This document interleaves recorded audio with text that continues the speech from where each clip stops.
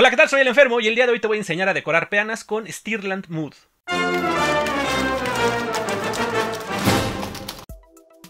Vamos a trabajar con esta textura de Citadel, que es la Stirland Mood, que es bastante convincente para un efecto de tierra fresca, digámoslo así. Voy a trabajar en esta peana que no tiene ninguna base de color como he aplicado en otras porque aquí pues voy a cubrir por completo con la textura. Tomamos una generosa cantidad de la textura y la aplicas directamente en la peana, esparciéndola. Y lo que voy a hacer es concentrar una cantidad más grande en algunas partes para que de esta forma cuando la textura seque tenga algo de relieve, que no se vea muy pareja, que no se vea lisa, digamos. Vamos a después de aplicarla dejarla secar un rato. Aquí como puedes ver la textura ya secó, ya queda una superficie completamente trabajable. Lo que vamos a hacer ahora es aplicarle un poco de luz con un tono de café medio claro. En este caso yo voy a usar el Flat Earth de Vallejo. Y con un pincel seco, unos ligeros toques únicamente para iluminar las partes altas y de esta forma que tenga un poco más de luz, que tenga un poco más de, profundidad nuestra textura. No uses un color muy claro, pero tampoco te preocupes si queda muy iluminado, porque en el siguiente paso lo que vamos a hacer es aplicar una capa de Agrax Earthshade para matizar un poco estos brillos. Aplicando parejo y generoso sobre toda la textura, y una vez que esté listo lo dejamos secar. Y este es el resultado final ya cuando seca la textura. Como puedes ver, queda bastante decente, queda cumplidora. Pero si quieres darle unos toques adicionales, se pueden poner decoraciones. Por ejemplo, vamos a hacer unas pruebas con algo de pasto. Este es de la marca de Army Painter. Para aplicarlo voy a mezclar pegamento blanco con un poco de agua. Y con mi mismo pincel viejo aplico unas motas de la mezcla en distintas partes en la peana. No hay que cubrirlo parejo porque si no va a quedar como un campo de fútbol. Sino simplemente algunas manchitas por aquí y por allá. Y directamente vas rociando el pasto sobre las áreas que tienen el pegamento. Y voy a hacer una más diferente, esta vez va a ser con un tuft, igual son los de Army Painter.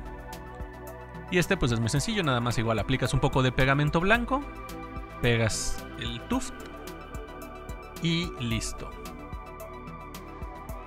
Y como puedes ver el resultado final son unas peanas bastante agradables y convincentes, pero sobre todo rapidísimas.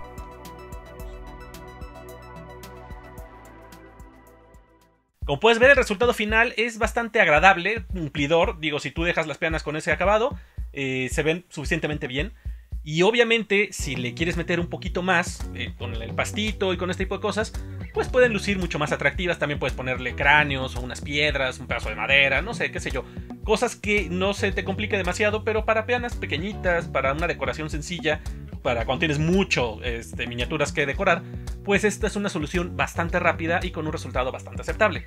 Ahora, me quise poner a experimentar, además de utilizar el Stirland Mood, que ya por sí solo, como ves, funciona considerablemente bien quise probar un tipo adicional de material que tiene poco que encargué en Hobby Cancún, que es esta que se llama Ready Mod de la marca mexicana Ronin. Y el resultado fue bastante interesante, mira, échale un ojo. En esta segunda opción, pues lo que quiero es aplicar la textura de Stirland en la parte superior, digamos que se vea que está arriba sobre un terreno muy fangoso. Entonces, para tratar de lograr esto, en estas peanas, en una utilicé un pedazo de corcho común y corriente, con formas irregulares simplemente. Y en esta otra utilicé arcilla de moldear. Es esta que venden, que es un tipo de, de masa que tú aplicas, le vas dando forma y una vez que seca ya podemos trabajar directamente sobre ella. Entonces, igual que en los pasos anteriores, aplicamos el Stirland Mood de forma generosa no me importa tanto la parte de abajo, digamos, en la peana, ahí no quiero acumular ni nada porque esto va a quedar cubierto con el lodo.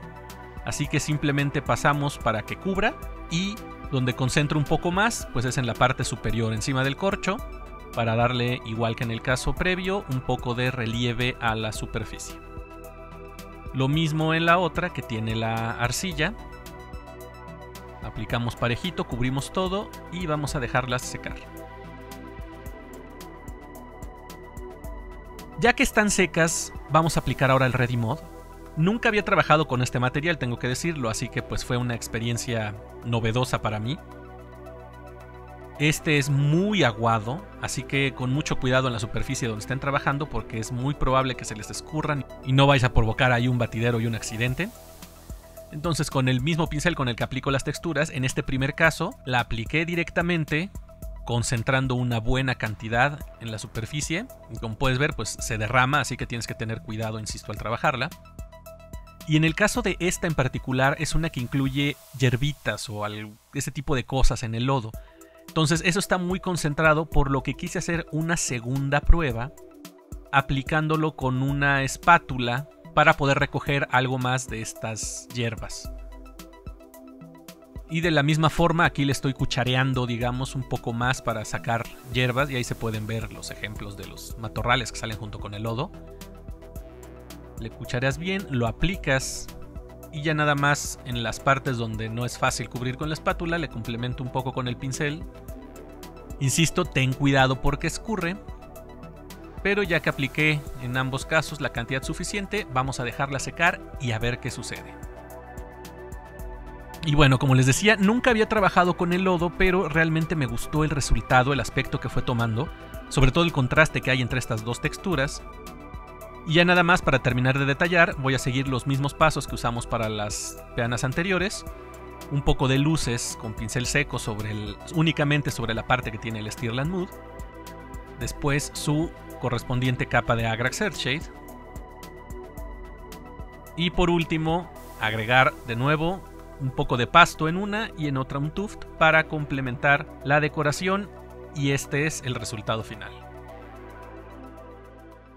Y como ves, el resultado a mí me gustó bastante, se me hizo muy interesante la combinación que dan estos dos, porque pues entre la textura rugosa que tiene el Stirland Mood junto con la textura suave y cremosa que tiene el Ready Mod, pues da un aspecto muy interesante a la peana. Y como pudiste ver, realmente no es mucho más trabajo del que se hace con el puro Stirland Mood. Pero al combinar distintas texturas, pues le da muchísima más vida a la peana, ¿no? Entonces te invito a que pruebes otro tipo de elementos, a que conozcas algunas otras herramientas para que veas pues qué resultados puedes tener. Y recuerda que puedes conseguir este producto y muchísimos otros materiales de pintura en la página de hobbycancun.com y tienes un descuento si utilizas el código enfermo por Hobby Cancún al concluir tu compra. Como siempre, muchas gracias por ver este video, espero que te haya gustado y sobre todo que hayas encontrado algo útil. Si es así, no olvides compartírselo a algún amigo y darle me gusta. Además, suscríbete y activa la campanita para que te lleguen notificaciones cuando subo nuevos videos o cuando hago mis transmisiones en vivo. Si disfrutas los contenidos que hago en este canal y en otros medios, puedes considerar apoyarme a través de Patreon con una suscripción mensual o con un donativo único a través de PayPal. Esto es para que yo pueda mejorar mi equipo y comprar nuevos juegos para que pueda venirse a reseñar y como siempre todo será muy agradecido.